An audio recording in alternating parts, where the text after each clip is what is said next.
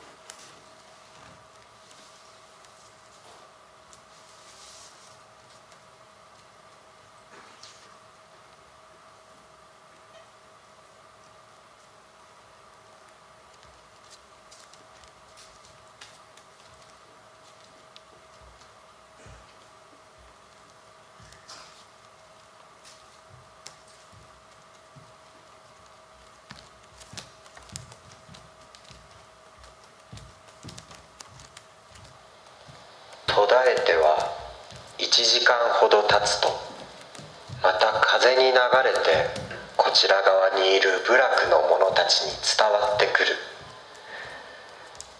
獣がうなるようなその声を耳にするたびに百姓たちは体中を震わせて泣きました。